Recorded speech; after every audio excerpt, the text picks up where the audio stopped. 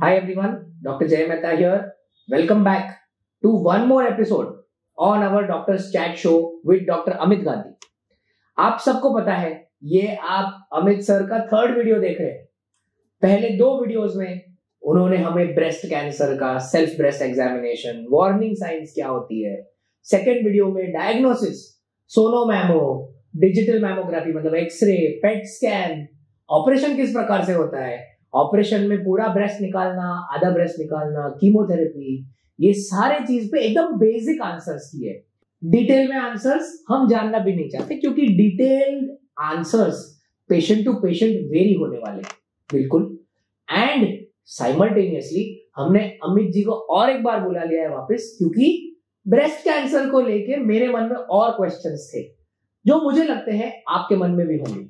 इसलिए बेहतर है कि उनके जैसे एक एक्सपर्ट के साथ बात करेंगे तो शायद हमें कुछ ऐसा गाइडेंस मिलेगा जो हमें हमारे पेशेंट को हमारे केस में और हमारे रिलेटिव्स की मदद करने में काम में आएगा। हमारे सारे व्यूअर्स की तरफ़ से one more time thank you so much for coming most welcome taking out time and really for explaining breast cancer in a very simple way in the last two videos. Thank you आपने हमारे को last video में एक बात बताई थी कि breast cancer का ट्रीटमेंट कंप्लीट करना बहुत इंपॉर्टेंट है। Yes. फिर भले सर्जरी पहले हो कीमोथेरेपी बाद में हो पहले कीमोथेरेपी हो तीन बार फिर सर्जरी फिर वापस कीमोथेरेपी शायद रेडिएशन थेरेपी ये सब कंप्लीट करना ज़रूरी है। मेरा क्वेश्चन ये है आपसे काफ़ी बार हमें पेशेंट्स पूछते हैं कि सर ब्रेस्ट कैंसर आपने जो बताया मैंने किया आपने बताया पहले ऑपरेशन करो मैंने ऑपरेशन किया। आपने बोला छह बार कीमोथेरेपी लो मैंने वो भी किया मैंने कुछ आवाज़ नहीं किया। बराबर? अब मैं आपके पास में फॉलोअप के लिए आया हूँ और बहुत सारे ब्रेस्ट कैंसर के पेशेंट्स को हम पाँच साल की टैबलेट दो साल की टैबलेट लेट्रोजॉल या एनेस्ट्रोजॉल कॉमनली जो हम देते हैं मैं दो चीज़ जानना चाहता हूँ। ये हम क्यों देते हैं? और इसका ब्रेस्ट कैंसर को और कमती करने में कितना रोल है? सो So, ये एक ही ब्रेस्ट कैंसर एक ही कैंसर है जिसमें ट्रीटमेंट खत्म होने के बाद बीमारी वापस नहीं आने के लिए टैबलेट्स हम देते हैं। सो so, ये टैबलेट्स क्यों देते हैं? किस पेशेंट में देते हैं? ये जो ब्रेस्ट कैंसर होता है वो जो ट्यूमर निकलता है उस ट्यूमर के ऊपर टेस्ट होते हैं। जी हार्मोन के वो रिसेप्टर टेस्ट रिसेप्टर टेस्ट बिल्कुल बिल्कुल। ईस्ट्रोजन प्रोजेस्ट्रॉन ये जय के मेन हार्मोन्स है। बिल्कुल। प्रोजेस्ट्रॉन में ही- नहीं मेरा मेन टेस्टोस्टेरोन है हाँ। पर मैं जो हार्मोन्स में ज़्यादा डील करता हूँ वो वो है ईस्ट्रोजन और प्रोजेस्टेरोन है। बिल्कुल। ईस्ट्रोजन रिसेप्टर प्रोजेस्ट्रॉन रिसेप्टर एक और है जिसको हर्टू न्यू रिसेप्टर बोलते हैं। अच्छा। ओके और लास्ट है K I sixty seven levels okay आप लोगों के लिए आप इम्पोर्टेंट चीज़ है कि फॉरगेट द रिसेप्टर्स हम जो बता रहे हैं कि किसमें लेना है क्या लेना है वो इम्पोर्टेंट है। बिल्कुल। सो so, जो पेशेंट के रिसेप्टर्स प्रेजेंट है ओके स्पेशली पहले दो ईआर और पीआर ईस्ट्रोजन और प्रोजेस्टेरोन बिल्कुल हाँ। जिनके ट्यूमर में ये रिसेप्टर्स प्रेजेंट है उनके लिए एक टैबलेट बनी हुई है ओके जो वो रिसेप्टर्स के अगेंस्ट काम करती है। अच्छा। और कैंसर को वापस होने के लिए प्रिवेंट करती है। अच्छा। फैंटास्टिक तो प्री मेनोपॉजल यानी मेनोपॉज के पहले बिल्कुल। पीरियड जिनके खत्म नहीं हुए उनके लिए टेमोक्सिफेन करके गोली है। अच्छा। जो 20 मिलीग्राम की होती है। अच्छा। वो मैं अभी मेरे प्रैक्टिस में 10 इयर्स के लिए बोलता हूँ मैं 5 इयर्स के लिए नहीं बोलता अच्छा। ओके ये टैबलेट डेली लेनी होती डेली लेनी होती है कोई ज़्यादा साइड इफ़ेक्ट नहीं है। है अच्छा। ओके थोड़ा बहुत ऑस्टियोपोरोसिस वगैरह जो होता है उसके लिए कैल्शियम विटामिन डी का सप्लीमेंट हम साथ में दे देते हैं। बिल्कुल। जो अगर नहीं है ब्रेस्ट कैंसर तो भी फीमेल पेशेंट्स को हम लोग देते हैं। ओके जिनका ये रिसेप्टर्स नेगेटिव है। अच्छा। उनको ये टैबलेट नहीं दी जाती। अच्छा मतलब रिसेप्टर में अगर बायोप्सी रिपोर्ट में आया कि रिसेप्टर पॉजिटिव है तो शायद आपके डॉक्टर आपको ये टैबलेट लेने को बोल सकते हैं। यस अगर रिसेप्टर में आया कि भाई बायोप्सी में कि रिसेप्टर नहीं है तो डॉक्टर आपको टैबलेट लेने की ना बोलते ना बोलते और जैसे इंसान में होता है ना कि अच्छा इंसान है बुरा इंसान है हम्म। देख के तो सभी अच्छे लगते हैं। जब। उनके साथ टाइम स्पेंड करते हो तो पता चलता है ना ये बुरा है या अंदर हम्म। अच्छा है। वो स्ट्रेस में आए तो कैसे रिएक्ट करता है? सेम वे ब्रेस्ट कैंसर में अगर ये रिसेप्टर्स प्रेजेंट है ई आर और पी आर तो it response best to treatment अच्छा वाह सर्जरी कीमोथेरेपी पूरा क्योर है. E R P R strong positive hundred percent cure है. वाह अगर स्टेज फोर में ट्यूमर आया और E R P R positive है उसमें भी पेशेंट को डेढ़ दो साल दे सकते हैं। Wow that is fantastic tablet और बहुत ऑप्शंस है। वाओ अनगिनत ऑप्शंस है। अनगिनत ऑप्शंस जो थर्ड रिसेप्टर जो मैं बता रहा हूँ हर टू रिसेप्टर। वो फुल फॉर्म भूल जाओ। हर टू न्यू याद रखने का। हर यानी कोई फीमेल को बोलते ना हिम और HER HER HER two two neu neu यानी जो भी है आप फुल फॉर्म बाद में देख लेना। बराबर। वो रिसेप्टर अगर पॉजिटिव होता है। तो उसके लिए एक इंजेक्शन होता है। अच्छा। वो हम नॉन मेटास्टिक यानी जो बीमारी दूसरी जगह नहीं गए हैं. Liver lungs bone stage four जो नहीं है उनके लिए हम ऑपरेशन के बाद कीमो के साथ अच्छा। हम अठारह इंजेक्शन देते हैं। ओ wow every month once okay ये जब लॉन्च हुआ था ना तो ये one lakh one fifty one lakh fifty common man नहीं पहुँच पाता था। अच्छा। ये सब चीज़ें अभी बहुत लोअर कॉस्ट में आ गया है wow because of competition and अभी common man can manage it alright okay ये बेवासिजुमाब है? नहीं नहीं नहीं अच्छा। ट्रस्टुजुमैब ट्रस्ट हाँ, ओके एक रिसेप्टर के अगेंस्ट काम करता है. वाओ तो वो अगर पॉजिटिव रहा तो ये देने का और ये वाला इंजेक्शन ले लेते हैं ना तो survival benefit more than thirty percent हो जाता है. वाओ एक इंजेक्शन मतलब ये अठारह इंजेक्शन का कोर्स करने से. हाँ करने से. तो चौथा जो है लास्ट वाला के आई सिक्सटी सेवन करेक्ट ये हमको ये बताता है कि ये वाला जो बीमारी है ना इसमें कितना रिस्पॉन्स रेट होने का चांस कितना है? हम्म। एग्रेसिव है कि नहीं? ओके कीमोथेरेपी इसको हेल्प करेगा कि नहीं? थोड़ा बहुत ओके नॉट कंप्लीट बट थोड़ा बहुत। ओके तो ये जब मोर देन ट्वेंटी परसेंट होता है तो कीमो लेना चाहिए। अच्छा। तो टेन टू फिफ्टीन परसेंट होता है तो स्टेज वन स्टेज टू में यू कैन थिंक आपको लेना है नहीं लेना है सोच सकते हैं। Okay but over treatment is better than under treatment क्योंकि जब वापस आता है ना तो हमारे लिए बहुत सिंपल है। आप है ना वो वन परसेंट में आए हो जिसमें ये हुआ है।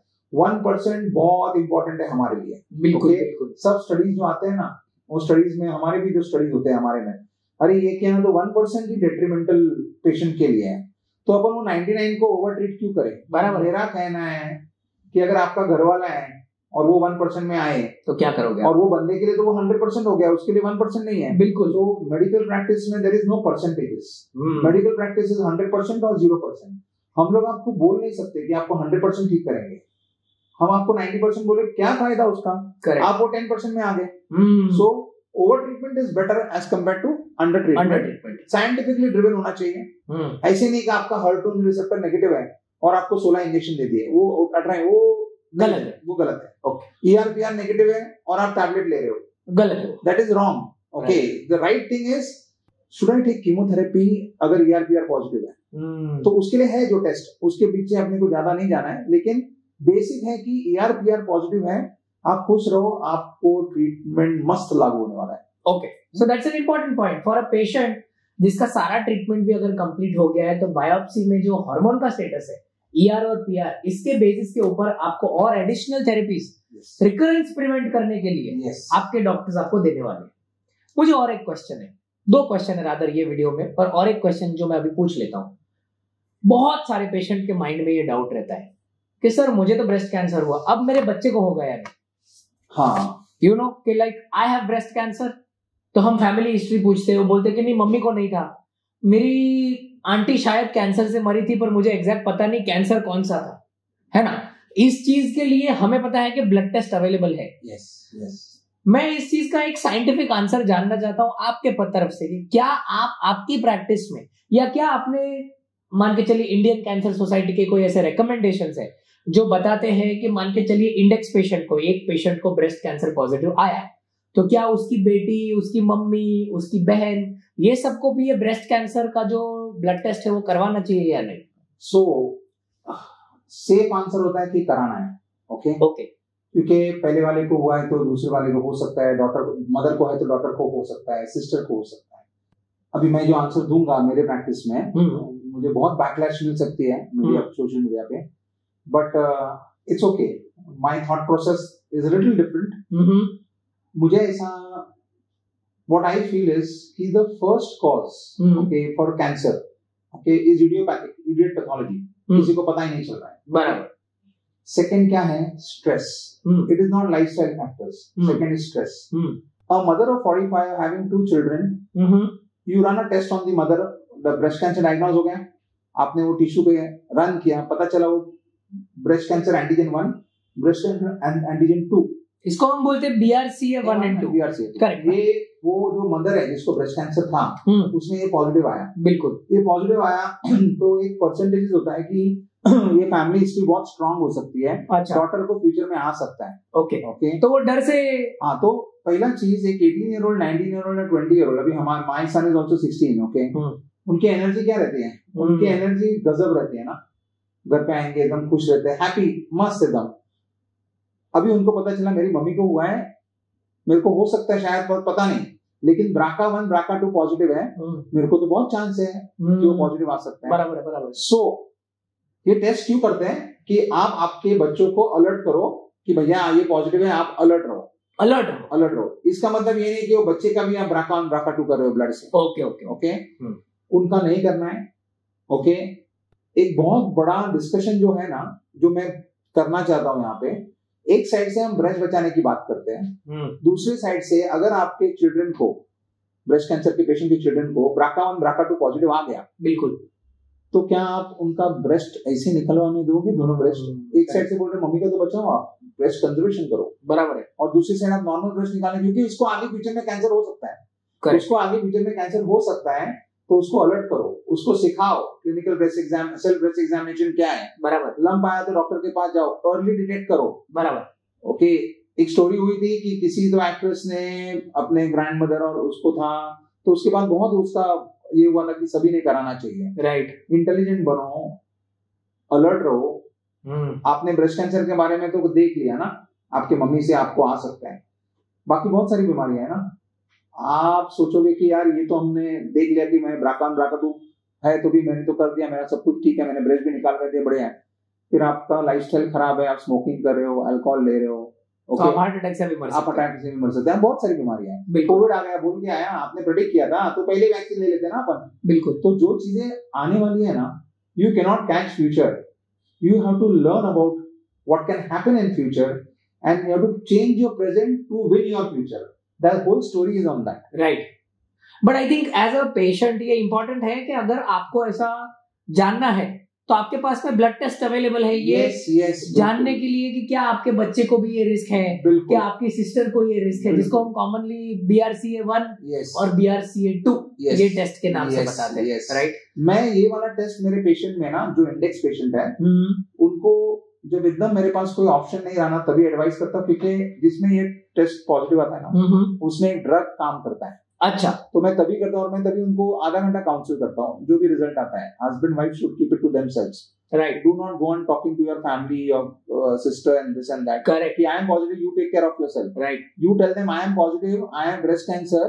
आपको फैमिली हिस्ट्री में आ सकता है क्योंकि सबको पता है फैमिली हिस्ट्री में है। बिल्कुल। उनको ब्राका शेयर करने की ज़रूरत नहीं है क्योंकि बाद में वो रात को गूगल करेंगे और है उसने भी मास्टेक्टमी किया था मैं भी करवा लेता हूँ। हाँ।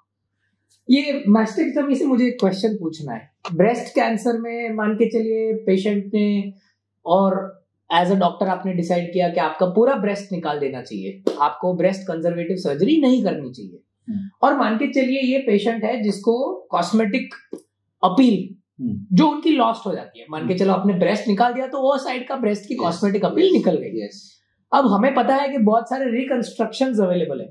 आप मसल्स यूज़ करके उसको शिफ्ट कर सकते हो आप इम्प्लांट्स डाल सकते हो बहुत सारी ऑप्शन अवेलेबल है ये चीज़ में। मेरा क्वेश्चन बड़ा सिंपल है जब पेशेंट्स ये आते हैं या पेशेंट्स इसका काउंसलिंग करते हैं मैंने बहुत सुना है आपके पास से सुना है बाकी के लोगों के पास से सुना है जो ब्रेस्ट कैंसर के स्पेशलिस्ट है कि काफ़ी बार वो प्राइमरी सर्जरी में ही रिकंस्ट्रक्ट करके दे देते हैं। तो मैं ये जानना चाहता हूँ कि क्या ये बात सच है? पहली बात कि प्राइमरी सर्जरी में रिकंस्ट्रक्ट हो सकता है। एंड सेकेंड ये जो आप टिश्यू रिपेयर करके देते हो जिसको हम प्लास्टिक सर्जिकल या रिकंस्ट्रक्टिव पूरा जो साइंस बोलते हैं उसमें कॉस्मेटिकली कितना अच्छा दिखता है ये सब? सो so, ये हर सर्जन का अपना अपना नज़रिया है हर कैंसर डॉक्टर का अपना अपना नज़रिया है। मैं मेरे नज़रिए के बारे में बात करता हूँ। Okay okay. मैं प्राइमरी रिकंस्ट्रक्शन कभी नहीं करता। ओके मैं दो साल हम्म।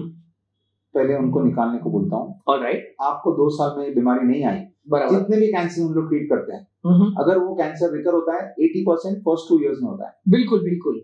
बाकी एक बार टू इयर्स क्रॉस किया तो नहीं आता है। Correct so once two years are crossed, then you talk with the patient. कि अगर उनको रिकंस्ट्रक्शन करना है हम्म। तो आप रिकंस्ट्रक्शन के लिए तैयार हो जाओ। ओके। तो तैयार आप आप जब रिकंस्ट्रक्शन करते हो हम्म। तो उसमें बहुत सारे ऑप्शन है। अच्छा। अगर कोई पेशेंट थोड़ी ओबीज है तो उसका इधर वाला मसल और क्लैप ले सकते हैं। अच्छा। कोई पीछे का ले सकते हैं। ओके। तो बहुत सारे ऑप्शन है। इम्प्लांट डाल सकते हैं। सो जो भी ऑप्शन है आप सिलेक्ट कर सकते हो। हम्म। और वो तभी कर सकते हैं। मैं प्राइमरी रिकंस्ट्रक्शन क्यों नहीं करता? हम्म। प्राइमरी रिकंस्ट्रक्शन में प्राइमरी काम क्या है? अपना प्राइमरी काम है कैंसर ट्रीटमेंट पहले ज़िंदगी दो उसको मस्त कब कैसे बनाना है बेहतर कैसे बनाना है वो बाद में बनाओ बराबर। ये रिकंस्ट्रक्शन में अगर मैं बोलूँ कि वन परसेंट फेलियर रेट है अच्छा। One percent hmm. तो आपने तो वो पेशेंट का ना अर्जुवन ट्रीटमेंट रेडिएशन सबकी बैंड बजा दी। बराबर।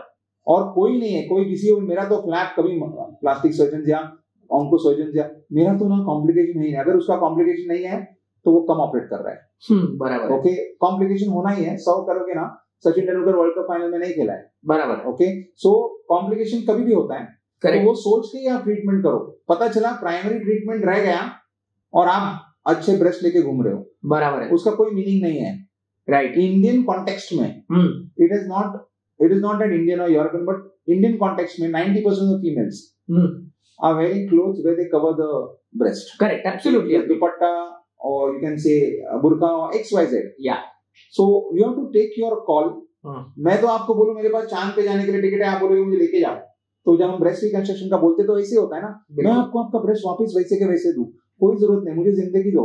बराबर। मैं दो साल मस्त जीऊँगी हम्म। उसके बाद जो रिकंस्ट्रक्शन करना है अपन कर देंगे। बराबर है। सो बट ये जानना इंपॉर्टेंट है पेशेंट्स के लिए कि अगर ऐसा कुछ है और अगर आपको ऐसा है कि इसमें कोई कॉस्मेटिक डिसफिगरमेंट है तो आप इस चीज़ को लेके इसका ट्रीटमेंट ऑप्शन प्लास्टिक सर्जन के साथ में या कैंसर सर्जन के साथ में एक्सप्लोर कर सकते हैं जिसमें they can reconstruct that breast back for you मैंने मेरे प्रैक्टिस में ये सर्जरीज देखी हुई है इसलिए मैं सोच रहा था कि ये क्वेश्चन हम डॉक्टर अमित को पूछेंगे और ये बहुत उचित आंसर दिया है आपने इस चीज़ का लेके क्योंकि कैंसर में primary goal is to survive nicely yes and if you survive nicely जैसे कि सर ने बताया स्टार्टिंग के दो तीन साल अच्छे निकल गए फिर आप ऐसे कोई थॉट्स आपके दिमाग में लाकर ये सारी ट्रीटमेंट ऑप्शंस को एक्सप्लोर कर सकते हैं। बहुत स्पेसिफिक पेशेंट होता है जिसको हम प्राइमरी रिकंस्ट्रक्शन देते हैं। हम्म, suppose the female is unmarried hmm, she is very young suppose the patient is very big breasted hmm, hmm, कि उसका बहुत डिस्पैरिटी दिखने दिखने में आता है। For them we can give hmm. Provided she stage one stage two पर उसके क्राइटेरिया है। जैसे Yes. आपने बताया कि ये पूरी डायनामिक्स अगर कोई भी पेशेंट आप में से है या कोई भी व्यूअर है और ये तीन वीडियो देखे, अगर आप तीन वीडियो का टोटल करोगे तो तकरीबन एक घंटा है यू नो ये एक घंटा अगर आपने सुना है तो आपको ये ज़रूर आइडिया आ गया होगा कि ब्रेस्ट कैंसर पहली बार कॉमन है। ट्रीटेबल है and treatable very nicely right treatment options बहुत है, पर हर पेशेंट के लिए ऑप्शन इंडिविजुअलाइज करना पड़ता है। साइमल्टेनियसली ये एक ऐसा कैंसर है जिसमें आपको एक टेन ईयर सर्वाइवल विंडो है। Right so we are talking of almost complete cure to a very very good survival इसमें अगर ब्रेस्ट को डिसफिगरमेंट मतलब कॉस्मेटिक बेनिफिट नहीं मिला तो कॉस्मेटिकली रिकंस्ट्रक्ट भी कर सकते हो, बड़ी अच्छी तरह से you know and you can get back to your original shape ये सारी इंफॉर्मेशन हमें मिली है, ये तीन चैट शोज़ के द्वारा डॉक्टर अमित के पास से। मैं सारे व्यूअर्स की तरफ़ से वापस तीनों सेशंस मिला के आपका बहुत बहुत शुक्रिया अदा करना चाहता हूँ। क्योंकि खुद की प्रैक्टिस में से टाइम निकाल कर इतना क्लैरिटी के साथ और वो भी एकदम सिंपल लैंग्वेज हम मेडिकल थेरेपीज की बात करेंगे तो शायद पाँच दिन बात करेंगे इस चीज़ पे। बिल्कुल। बट इतना सिंपल वर्ड्स में लोगों को समझाने के लिए थैंक यू क्योंकि बहुत पेशेंट्स हैं हमारे कंट्री में जो ये वीडियोस देखते हैं और फिर खुद के डॉक्टर्स के पास में जाके क्वेश्चंस पूछते हैं। बहुत सारे डॉक्टर्स और बहुत सारे पेशेंट्स के माइंड में रहता है किसी को पूछ नहीं सकते। Yes. और आई होप कि ये इंटरक्शन के द्वारा आपके क्वेश्चन आंसर हुए हैं।